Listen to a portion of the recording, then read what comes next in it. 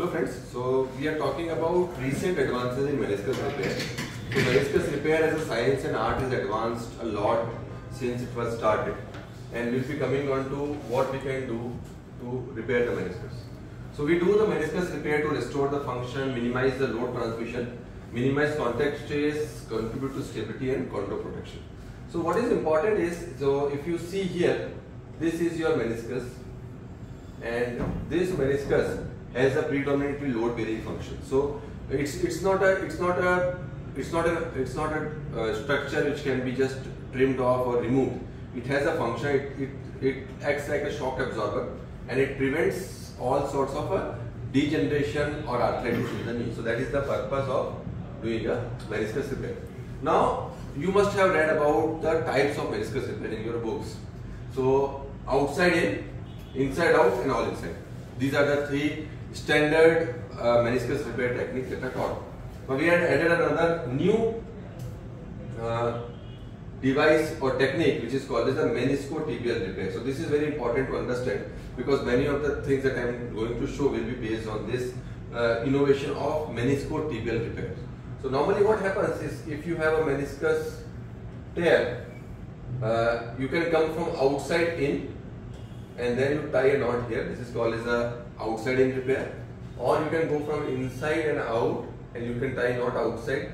That is called as inside out repair. Or you can use some devices which you can which can hold like this and can repair it like this. So uh, historically anterior horn you do a outside in repair body you do a uh, all inside repair and posterior uh, sorry uh, posterior horn you do a all inside repair and body you do a inside out repair so this was the historical thing but in uh, with the recent advances they are all interchangeable so you can use outside in for posterior horn you can use inside out for anterior horn and you can use all inside for anterior horn and i'll be coming how can you do that so if you want to do an outside in technique with uh, not the classical outside in you can use a meniscus mender or you can use a spinal needle kind of a thing and this is usually as I told you literature wise it is for anterior horn but uh, there is a very nice paper by Dr. Amit Joshi from Nepal and he has got a very nice paper in which he has explained repair of a posterior horn of meniscus with a outside in technique. So this is this is a paper that is much read must read for all of you. So in this te that technique particularly, he has uh, he has uh, developed some techniques in which you can even go to the posterior most part and you can do the posterior horn repair also with the outside in devices. Now coming to the inside out devices, inside out is actually called as a gold standard. So this is what is called as a gold standard. Why? Because you can achieve the most solid repairs with inside out technique. And literature wise you if you see it is usually recommended for the body of the meniscus but now there are zone specific cannulas with increased angulation. So even you can use this inside out device for posterior horn and for the anterior horn as well. So again it is not so you can do the whole of your case from anterior to posterior horn with the inside out device technique. And for that you need to use a uh, different different angles so you have cannulas you can have a single lumen cannula or your double lumen cannula with different different angles. They're all inside devices. Now all inside devices is classically used for a posterior horn because it is considered to be safer in, in that area. So it is classically used for a posterior horn but then you can use for a body also and now there are flexible shafts available. So you have meniscus repair devices with flexible shaft. So the two examples we will be coming to that are a fast fix flex and an air plus. So both of them have a flexible shaft. So you can use it for anterior horn. So again, all inside device also you can use for anterior. That's it. Now the fourth new addition that we have done is the meniscotibial repair device and we will be focusing more in this talk on this particular device uh, and uh, the importance of this device. Now what happens is whenever you do repair either this, this or this, uh, you actually increase the extrusion of the meniscus. Why? Because you're pulling the Exactly. So because you are pulling the meniscus out and tying it out. So whatever you are using all these three techniques, they will actually effectively increase the extrusion of the meniscus. So if the meniscus already has an extrusion, if you do these techniques, the, the meniscus will you can you will be able to repair the meniscus, but overall the extrusion will in the end it will it is going to increase.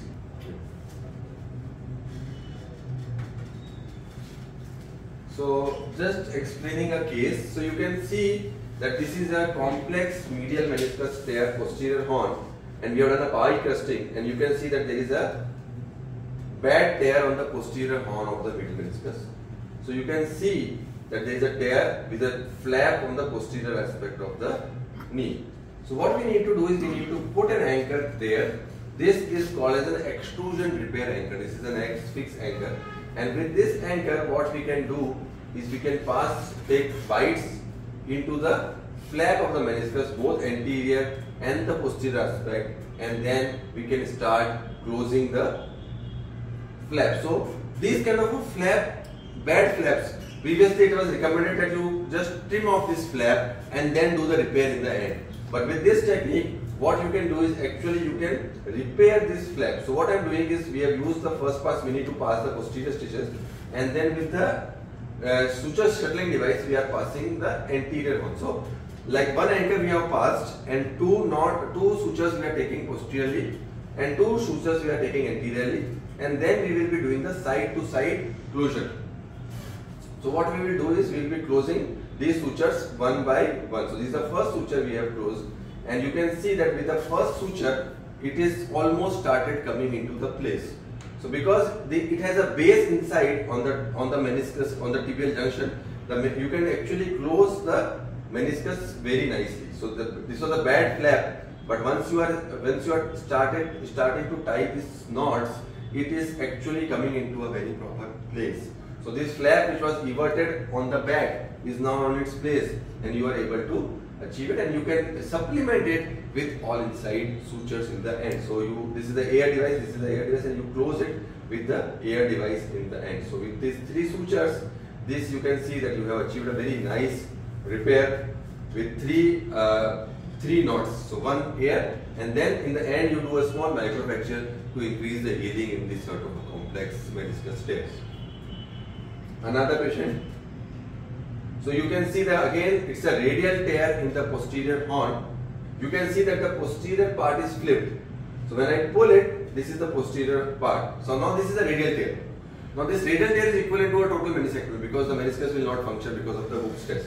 Now you have a gap here and here we are using a root fix anchor. So root fix anchor will be actually uh, uh, inserted at the base of that uh, lesion and from that base again uh, this is a retrograde insertion. Uh, uh, uh instead of the antegrade insertion initially this is a retrograde anchor so we pull it and when, we fix it there are four sutures which are going four suture limbs which are going in, in different directions. And then we tie one suture on each of the sides.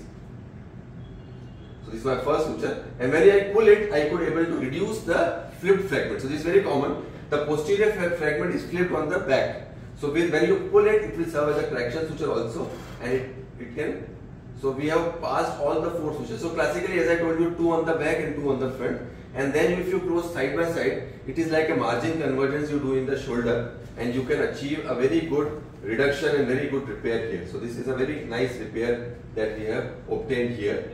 This is the first suture and with the second suture we are very good in your, our repair. So the radial tear which was very bad torn is now repaired nicely with this technique. So this is a this is not a root tear but this is a radial tear in the posterior horn because root tears by definition should be within a centimeter of the attachment. So this is more than a centimeter but this is a radial tear and again it was repaired by the same technique meniscotibial fixation. So this is as I told you this is the fourth part or this the, this is the this is the, in, in the classification we have added the meniscotibial repairs.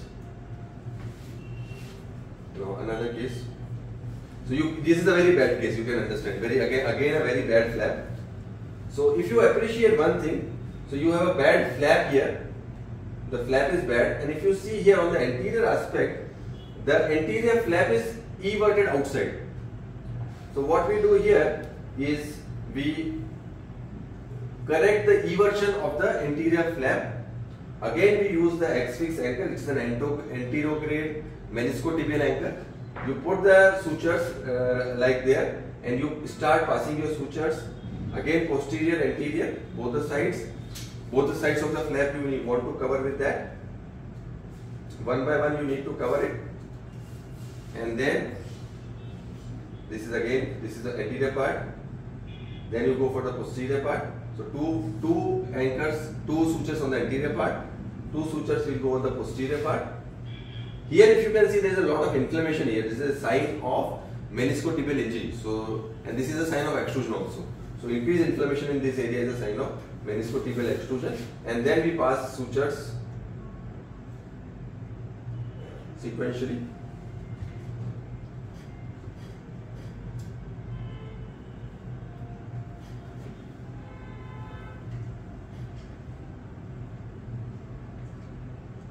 So here. So we have passed it from the back again. Two sutures on the back, two sutures on the front. And then we tied it again just like that. So when we close it, the meniscus will sit on very nicely to its place. So two, two sutures, one blue one and then one white one. And the bad meniscus flap which was there has come up into its position very nicely. Okay. So this is about meniscotibial fixation. So three, all these three cases are different different types. But this I can definitely tell you that meniscotibial fixation is now a new entrance into the meniscotibial meniscus repair segment and it is very helpful in complex cases in which your standard meniscus repair don't work, specifically if there is extrusion. Now we will talk about the other fixation devices. So meniscus repair, that is the all inside technique if you talk about. So all inside techniques, the prototype is basically the fast fix device from Smith and Nephew. It was a standard device. It has a passive deployment mode. Now they advanced the generation to fast fix 360 degree, which is a active deployment device. And then there is a fast fix flex. So fast fix flex basically is a you can change the curvature. So you can use for anterior one, posterior one, whatever you want. And you, it comes with a bender, so you can bend it and you can reach into the tight corners. Then you have a Stryker air device, air plus device. You can have the Linvatec Sequent. Now this device is basically a, uh, this can uh, put multiple stitches. So as compared to all these devices, they will put a single stitch, so interrupted sutures. So they are loaded with two devices. Sequent is loaded up to seven devices. So you can place running sutures with the Sequent. Then you can have Arthrex fiber stitch or Sironic Surich. These are all the variants of all inside meniscus repair devices. Now they are good for peripheral tears and meniscocapsular separations. Now if I talk about the all inside repairs, you can have a straight curve, reverse curve. Now my personal preference is to put sutures in 2 is to 1 configuration. So normally if you see the meniscus is like this and I usually like to pass 2 by 1 configuration. So 2 sutures up with a ratio of 1, one suture down. So if you want to put 3 sutures, we put 2 on the top layer and 1 on the bottom layer like this. If you want to put 6 sutures, you put 4 up, 2 down. So this is what if you to put multiple sutures and there is a large bucket tender, it is better. If the tear is very bad, you can put one circumferential suture like that. But what it does is it, it blunts this, uh, it blunts the edge. So that is why we don't recommend it on a routine basis. Now Sequent as I told you, it can produce CGL stitches. It has multiple implants and single device. It, it uh, puts us running locking stitches. Now fast fix 360 degree as I told you is made up of two zero sutures UHMWP. It has an adjustable depth gauge. You can use a half pipe and you have two op uh, options of reverse curved, curved and straight. You use a curved one for upper, uh, upper border. For the inferior margin as I told you better to use a reverse and for the lateral meniscus it is better to use a straight. Flex as I told you you can bend it. So you can have, uh, you can achieve up to 80 plus 10. So around 90 degree of bending is possible. So you can reach tight corners with using these flexible devices. Now there is another device which is called as a Novo Stitch Pro. Now this device is basically like a knee scorpion but it, it can fire two sutures at a time. So it can just like that radial tear, it can uh, close the radial tear side by side. So one here, one here and then you can close on the top. So it has a jaw and it, the jaw can be fired twice. So one you make one suture, one suture and then you can tie. So this is one example of Novo Stitch Pro probably. This is all inside also. So you can see that there is a bucket handle sort of a tear. It's sort of a double bucket handle tear. You can see bucket handle tear. And we'll be just doing a very trickle debridement. You don't have to do a very generous debridement here. And once your debridement is done, you start putting your sutures with a specific zone, specific cannula. This is the inside out technique. So with inside out technique, you pass sutures up and down and then you go, you make a posterior safety incision, uh, retract all the structures posteriorly and then you pass sutures one by one through this pattern. So this is the uppermost. Then you can put down, up, down, up, down, up, like that you can put. And as I told you, I usually like to put in 2 is to 1 ratio, like 4 up, 2 down, 6 up, 3 down, like that. So with this we are uh, putting sutures up and down. Okay, so multiple sutures are now passed one by one. So you can see it's the circumferential thing. If it's a complete bucket handle, occasionally I put 8 to 10 sutures, sometimes more also. So this is the final if you see. This is the final picture. This is the final picture. You can see a number of sutures on the top and on the bottom and the whole of the meniscus is repaired into its place. Okay.